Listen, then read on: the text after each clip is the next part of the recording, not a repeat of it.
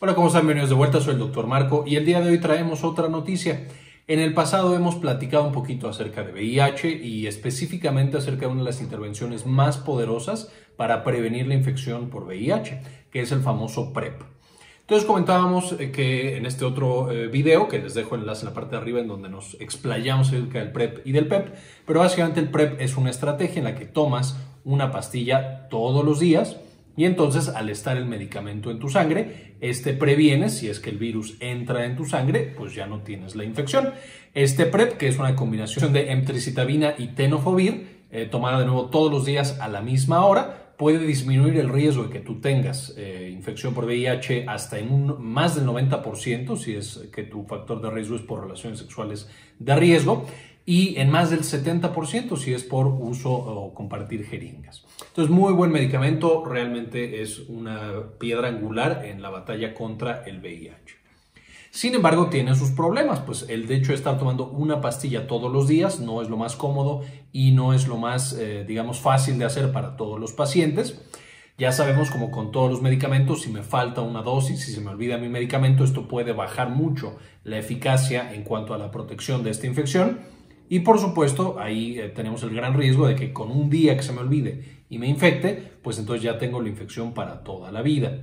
Además, el PrEP, eh, de que es difícil de tomar, por esto de que es una pastilla todos los días eh, por el tiempo que yo tenga el riesgo, pues tiene otros factores de riesgo como puede llegar a causar daño hepático, daño renal, un poco de náuseas, mareo. En la mayoría de los pacientes es bastante bien tolerado, pero bueno, tiene ahí su perfil de seguridad.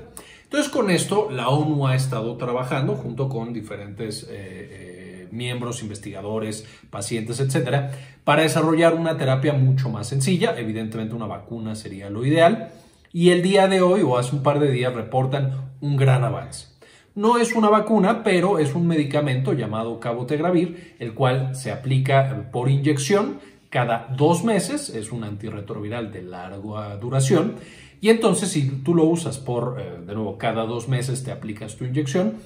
ha demostrado en un estudio que está terminando en este momento, que tuvo que de hecho terminarse un poquito antes por esta pandemia de coronavirus que estamos viviendo, pero en el estudio parece demostrar que es por lo menos igual de bueno que el PrEP que estábamos usando antes. Eh, entonces, esta es realmente una gran oportunidad porque es mucho más cómodo, en vez de tomar una pastilla diaria, es una inyección cada dos meses y tiene un perfil de seguridad diferente. Entonces, en pacientes que por alguna razón no puedan tomar su PrEP, es decir, la combinación de emtricitabina y tenofovir, pueden en, eh, su lugar eh, recibir esta otra inyección.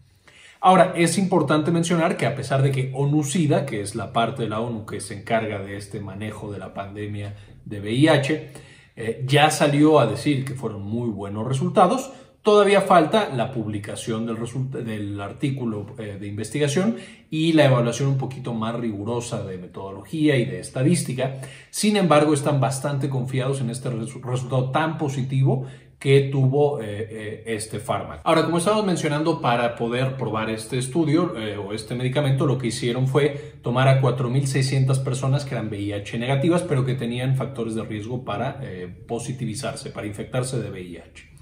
Y entonces a la mitad les asignaron el PrEP vía oral, que es el tradicional que ya hemos mencionado, y a la otra mitad le asignaron el PrEP eh, inyectado, es decir, esta nueva versión con cabotegravir. También había un grupo placebo y había otros eh, grupos, pero bueno, los más importantes eran estos dos. Y básicamente lo que encontraron fue que dentro del grupo que tenía el PrEP inyectado hubo 12 infecciones por VIH a lo largo del estudio, que paró de nuevo en marzo del 2020 era, esa era la evaluación intermedia, pero por la, iba a durar un año más. Por la pandemia tuvieron que quedar hasta ahí, pero bueno, llevan 12 infecciones en ese grupo, mientras que en el grupo con el PrEP oral había 38 infecciones eh, por VIH, es decir, se habían positivizado 38 sujetos de ese grupo experimental, lo que representa más del 60% de reducción, lo cual es bastante bueno, no era una diferencia significativa, pero por lo menos no se, se demostró que no era inferior al PrEP vía oral. De nuevo, esto es un gran avance para la lucha contra el VIH, si es que los resultados se mantienen consistentes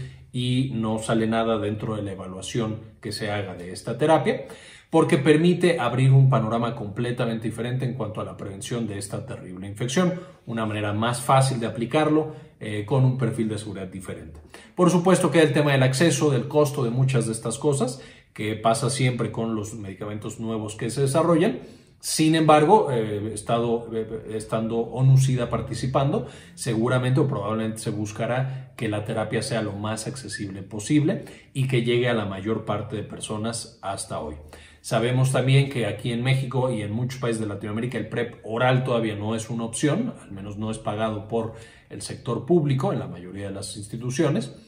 Sin embargo, además de que tenemos que presionar para que se haga, debido a que es una estrategia muy importante de prevención, también tendremos que pedir esta nueva opción que puede facilitar las cosas y ayudarnos a detener esta terrible pandemia. Entonces con esto espero les haya gustado el video, espero les hayan entendido toda esta información, buenas noticias, o al menos el primer paso hacia muy buenas noticias. Cuéntenme qué opinan, si esto es suficientemente bueno o si tenemos que seguir esperando la vacuna. Y como siempre, ayúdenos a cambiar el mundo, compartan la información.